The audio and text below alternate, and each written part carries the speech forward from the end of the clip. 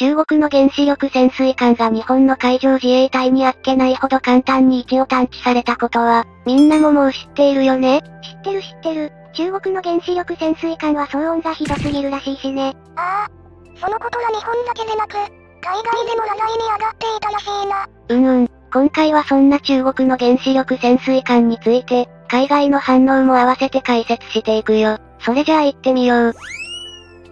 中国原子力潜水艦の激しい騒音で、日本の海上自衛隊に探知されて2日間追尾されるという侮辱を受けたと、香港サウスチャイナモーニングポスト紙が29日に報じたよ。侮辱って言えるのかな？元はといえば、中国が尖閣諸島沖に侵入したのが悪いんじゃないかな。あいつらにとって尖閣諸島は自分のものって認識があるからな。同氏は 093A 型と呼ばれる中国の110メートル小級原子力潜水艦が、今月10日に日本と中国の領有権紛争地域である尖閣諸島中国名魚釣島沖の海域に侵入したが、日本の海上自衛隊に探知されて2日間にわたり追跡された挙句、12日には公海で中国国旗である五星航機を帆柱に立てたまま水面上に浮上したということなんだ。これに関しては、当時、国旗を立てたまま浮上したのは尖閣諸島に対する領有権を主張するためだったという見解もあるが、一部の専門家は、激しい騒音を発する中国原子力潜水艦が日本の艦艇と、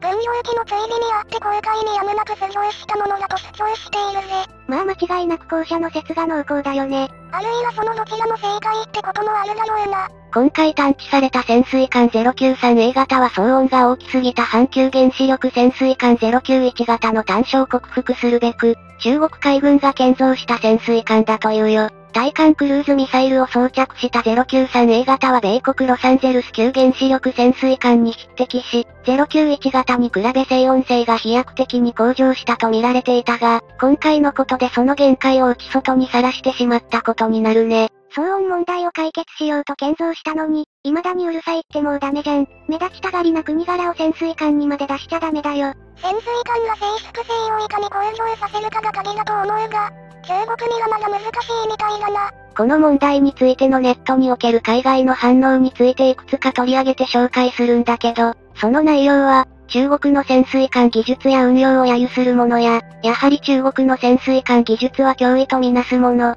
そして日本の潜水艦開発や運用能力の高さに関するもの、そして機密保持の欠陥を指摘するものと様々であったんだ。見た感じでは中国の技術を揶揄あるいは疑問視する内容の意見と、やはり脅威であると捉える内容の意見の2つが最も多く見られたな。脅威であることも否めないけど、技術や連動が追いついていないことも確かなんだよね。中国の技術や運用能力を揶揄あるいは疑問視するうち意見では、中国人は想像しいから離れててもすぐわかる。日本の自衛隊が使われている。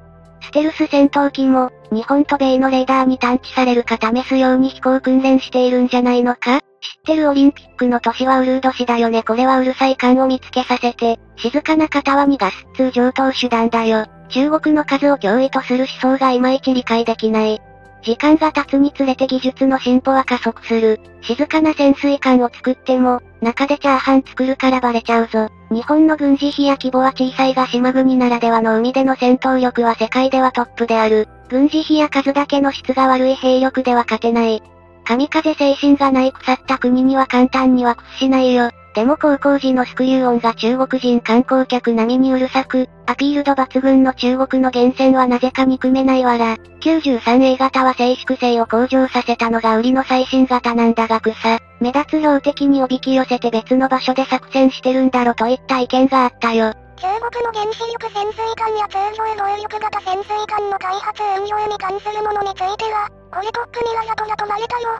つうても潜水艦だけじゃなく、哨戒機や海底探査網との連携だけどな。君の言う源泉が本来海中に取得する核ミサイルサイロだが、長期間の作戦行動が前提だからこその原子力、通常の攻撃型の多少の騒音より長時間先行のメリットを取ったが、現在は通常動力型でも2週間程度の連続先行が可能になり、静粛性が高い分だけ原子力艦を戦術的には凌駕するレベルになった。米国は全ての型の潜水艦を原子力化したため、通常動力型を現在のレベルで作ることができず、正直焦ってるよ。中国の潜水艦が自衛隊のイーリス艦の後ろつけてて後ろ見たら潜望鏡がひょこって出てたって話がなかったっけ？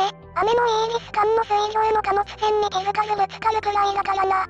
評判ほどの性能がない可能性がある。つまり、米国の後追いで原子力化してる以上、中国も同じことになる。攻撃型という点で言えば、ずれてるとは言えない核ミサイルキャリアーと比較するなら、君の言う通りだけどねといった意見があったぜ。中国の潜水艦技術や運用能力は脅威であるとの意見については、源泉の役割は本国から遠く離れた場所にミサイルや魚雷を運ぶことであって静かに先行することじゃない。本気で静音性を求めるなら通常動力型を作るだろう。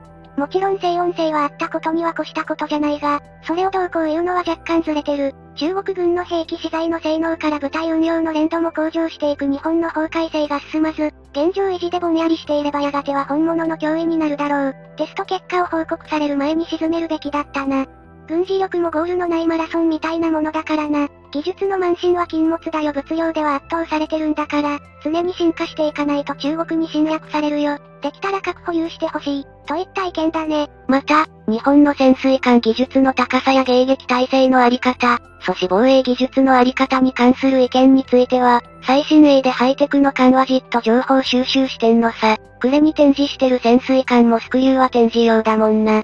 あの辺の磨く技術がミソなんだろうな。原子力潜水艦の弱点は、長期間の先行能力に欠けるところだ。定期的に浮上して酸素を取り入れなければならない。しかし、日本の最新鋭ディーゼル潜水艦は1ヶ月以上の不可深度の潜水航行が可能であり、原子力潜水艦がやむなく酸素吸入のために定期浮上する際に魚雷で狙い撃ちが可能である。北朝鮮の核兵器やミサイル開発に日本のスパコンや大学が関わっていたらしいから、日本の国立大学には防衛に協力させる必要がありますね。日本の領海に侵入したら、すぐ沈めてしまえば良いんだよ配慮する必要ないだろ。日本が同じことしたら、絶対に撃ってくるぞなどといった意見が寄せられていたみたいだね。色々な意見があると思うけど、今後とも中国の動向には注目していくべきだと思うな。それじゃあ今回はこの辺で。